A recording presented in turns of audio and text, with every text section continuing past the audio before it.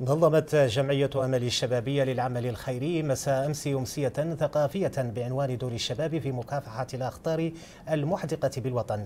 تضمنت فعاليات الأمسية كلمة للحاكم المساعد لمقاطعة تشيشة تحدث فيها عن أهمية إشراك الشباب في, العم في العملية التنموية.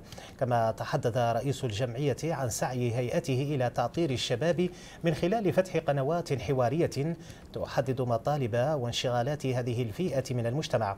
الأمسية تضمنت إسكوتشات تعالج جوانب متعلقة بموضوع الأمسية.